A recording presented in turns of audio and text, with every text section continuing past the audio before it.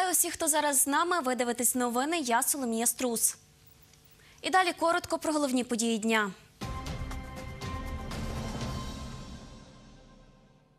У садочках і лікарнях Тернополя увімкнули опалення. Загін тернопільських поліцейських виїхав у зону проведення операції об'єднаних сил. Пенсіонери та студенти разом ставлять виставу до другої річниці соціальної ініціативи Єднання поколінь.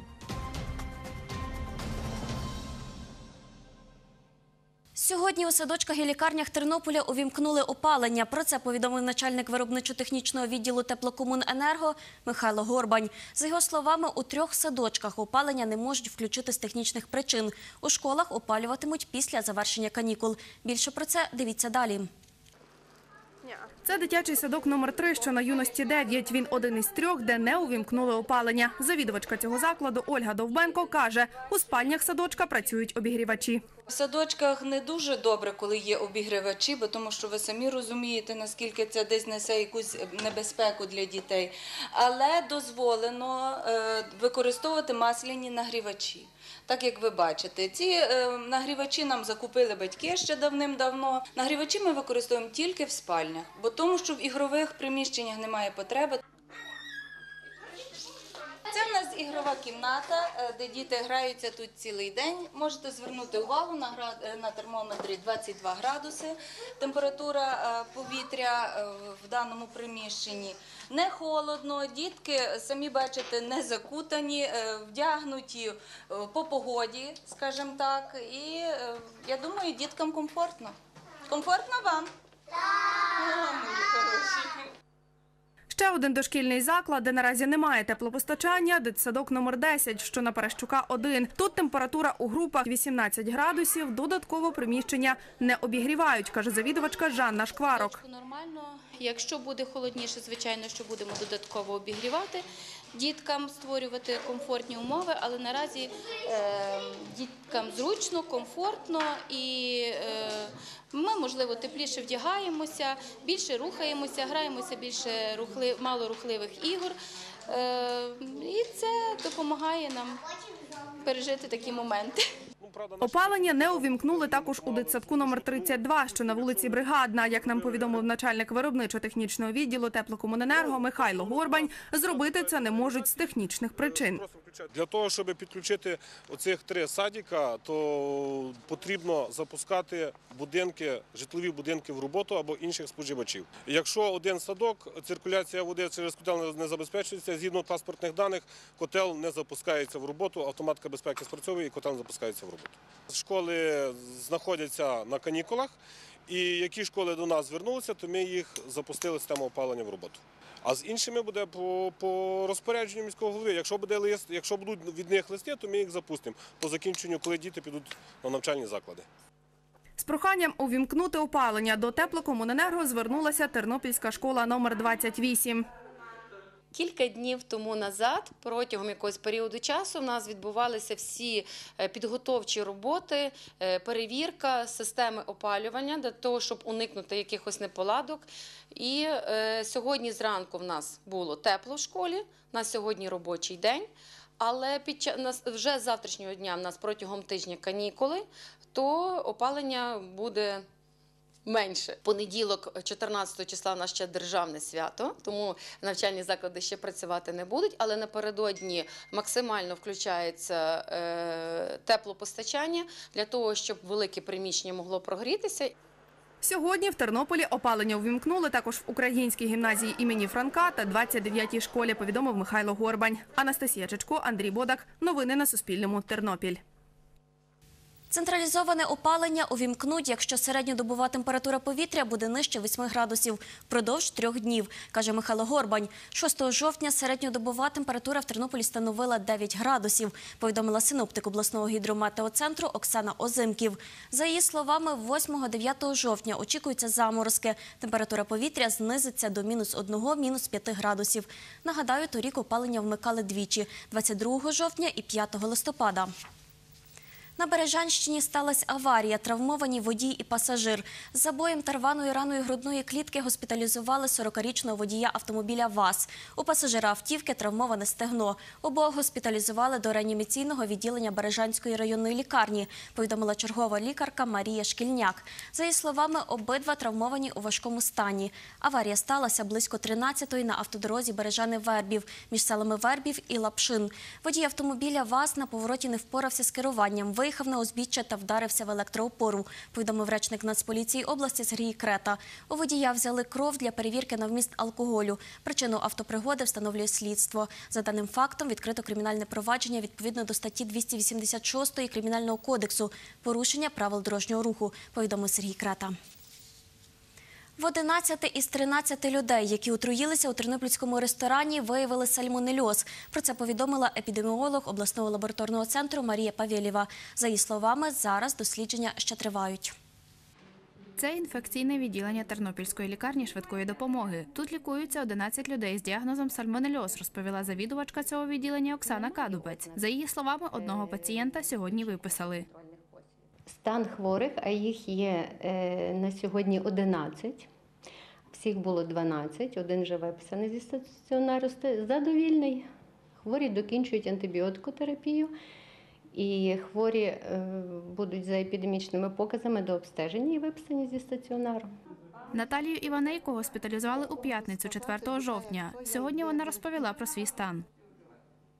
Ну, зараз так ніби вже температури не маю, ніби вже менше більше можна той. Просто дуже піджелудочно нарушила. Я вчора такий приступ, якби не пані Марія, я не знаю, напевно би кінцівку віддала. То вона зобразила, побігла, взяла нож, бо то все наколола, мені, мені так прийшло. О. Плюс в мене так син отравлений у Львові є, е, племінник з племінницею і невістка будуча. Всі з отравленням. 29 вересня в ресторані Аляска в Тернополі родина Олександра Астряба святкувала хрестини. Наступного дня до лікарні госпіталізували 6 гостей з гострою кишковою інфекцією. 3 жовтня було 11 хворих, 4 жовтня 13. Діана Ярошенко, Андрій Прокопів. Новини на Суспільному. Тернопіль. Ми звернулися за коментарем до речниці Держпродспоживслужби області Наталії Грисько. Вона повідомила, що на цю хвилину результатів дослідження ще немає. Представники служби відібрали взірці питної води, продуктів харчування та провели обстеження персоналу. Коли надійдуть результати, їх оприлюднять на сайті служби. 2 жовтня тернопільські правоохоронці відкрили кримінальне провадження щодо отруєння відвідувачів ресторану Аляска в Тернополі. Про це повідомив речник Нацполіції області Сергій Крета. За його словами, провадження відкрили за частиною першої статті 325 Кримінального кодексу порушення санітарних правил і норм щодо запобігання інфекційним захворюванням та масовим отруєнням. Зведений загін тернопільських поліцейських сьогодні вирушив у зону проведення операції об'єднаних сил. Це бійці роти патрульної служби поліції особливого призначення Тернопіль та співробітники управління патрульної поліції Тернопільської області. Там вони служитимуть два місяці. Повідомив начальник Нацполіції області Олександр Богомол. Для інспектора управління патрульної поліції Василя Іванчука це перша ротація на схід. Їдемо з досвідченими хлопцями, котрі вже відбули декілька ротацій. Основне наше завдання забезпечення громадського порядку на блокпостах, контроль транспортних засобів, які в'їжджають на підконтрольну територію України, забезпечення порядку. Думок ухилитися від поїздки не було, тому що це обов'язок кожного поліцейського, котрий служить своїй батьківщині, своєму народу. Проводить Василя його мати Любов Іванчук. Коли син вирішив, що він поїде в АТО, звичайно, він зразу повідомив мені, як мамі. Пережиття були і є. Але я розумію, материнське серце завжди піклується про дитину, і хай їх Бог охороняє. В зоні операції об'єднаних сил поліцейські нестимуть службу на блокпостах і будуть забезпечувати правопорядок. Повідомив начальник Нацполіції області Олександр Богомол. Перед від'їздом він проводить поліцейським інструктаж. Ви повинні бути взірцем Тернопільщини, і люди повинні вас зустрічати і проважати як своїх близьких людей. Перед поїздкою на схід поліцейських благословляють священники. Ви своїми головами і своїми серцями захищаєте нас. Для кожного з нас знати вас, бачити вас, дивитися вам в очі велика честь. і просимо і молимося, щоб ви гідно виконали свій обов'язок.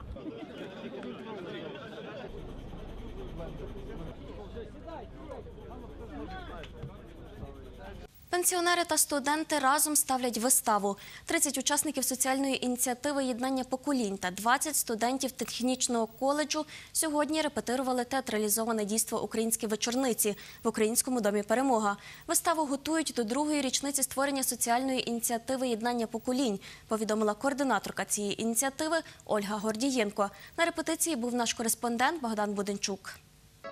На репетиції українських вечорниць 75-річний Павло Коваль грає на баяні. Чоловік відвідає соціальну ініціативу єднання поколінь два роки.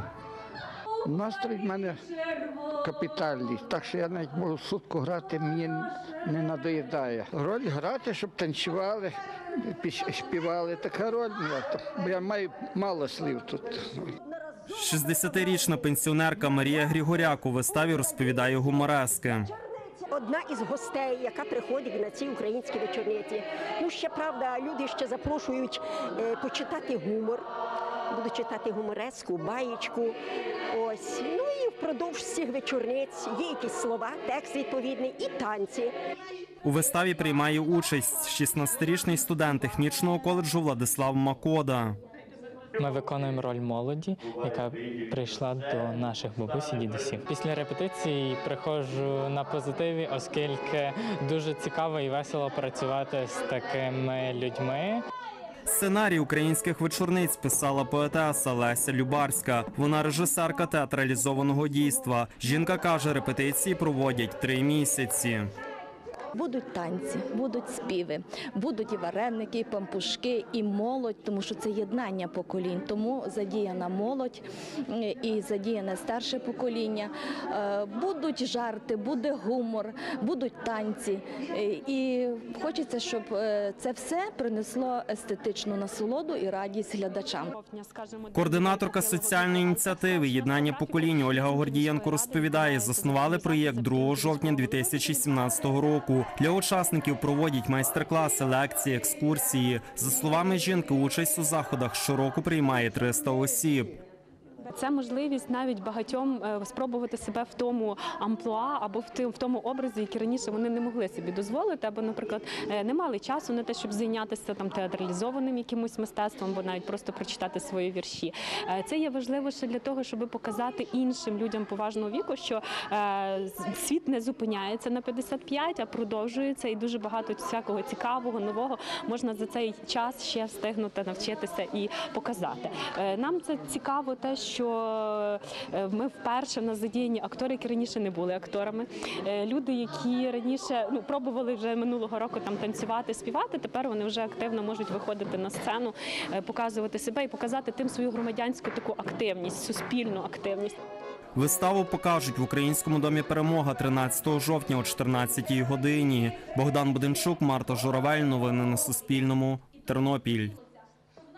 22 тернопільських дітей віком від 10 до 14 років проводять свої осінні канікули у пізнавально-відпочинковому таборі «Світ професій». На базі благодійного фонду «Карітас» табір працюватиме 5 днів – з 7 до 12 жовтня, з 11 до 16 години, розповіла соціальний педагог «Карітасу» Ольга Аркуша. Про перший день перебування дітей у таборі в сюжеті Анжели Шови. Соціальний педагог Ольга Аркуша ознайомлює дітей з різними професіями. Робиться з допомогою інтерактивної гри та квестів. Викликали, допустимо, Богданку і називаєте якусь там професію. Одну з них напишу, хай покажете. Богданка повертається до своєї команди і має за допомогою жестів, не використовуючи жодного жодного слова, показати, що ж це, що ж це за спеціальність. 12-річний Мар'ян Іваніцький з багатодітної родини. У нього чотири брати та одна сестра. Хлопець розповідає про перший день у таборі. Ми нині грали ігри такі, якби до професії, більш такі. Якщо яка професія, дізналися про лікаря, про його тяжку роботу, про пожарника, про шахтаря. Я хочу бути інженером-архітектором. Дається мені креслення. Катерина Янюк розповіла, що у неї є дві сестри та брат. Дівчинка мріє стати ветеринаром. Сьогодні вона теж взяла участь у грі Відгадай професію. Ми відгадували професії, нам було не важко. Е, Це е, були інструменти, які е, нам вже давним-давно відомі, і ми легко їх відгадували. Та дехто не знав, а хтось знав.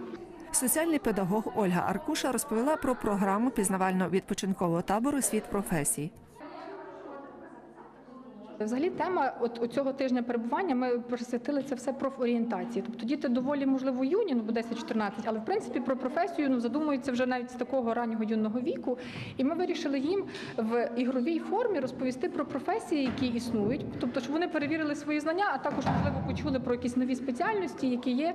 Ну і кажу, вибрали ігрову форму, бо відомо, що дітям в ігровій формі це все засвоюється, сприймається набагато краще, набагато доступніше. Ми хотіли зібрати тут дітей. В першу чергу кликалися діти із багатодітних малозабезпечених кризових родин, але не, не, не лише звідти, але тобто взагалі всі бажаючі, всі охочі віком від 10 до 14 років. Тобто ті діти, котрі би хотіли провести цей тиждень весело, цікаво та пізнавально. Координатор проекту соціально-педагогічної роботи з дітьми та молоддю Карітасу Андрій Хрущ каже, у такий спосіб сприяють соціальній адаптації школярів. Та проекту покращення соціального функціонування молоді і е, покращення їхніх, скажімо так, е, певних е, умов життєвих, і те, щоб діти, які знаходяться в групі ризику, ну скажімо так, добре. Е, В майбутньому могли функціонувати в суспільстві на даний момент. Зараз е, навчальна система е, працює так, що діти 5 тижнів навчаються і один цілий тиждень мають канікули, мають вихідних. Тобто, і для того, щоб здійснювати добре, якісну роботу протягом цілого дня, а не після е, навчального е, періоду, ми вирішили такими інтенсивами працювати, тобто, де буде викладатися певна тема одного тижня. Анжела Шова, Андрій Прокопів. Новини на Суспільному. Тернопіль. Такий табір у благодійному фонді Карітас організовують вперше, повідомила соціальний педагог Карітасу Ольга Аркуша. І це всі новини на сьогодні. Я бажаю вам вдалого завершення вечора. Більше матеріалів переглядайте на нашій сторінці у Фейсбук ЮА Тернопіль. Також заходьте на наш сайт.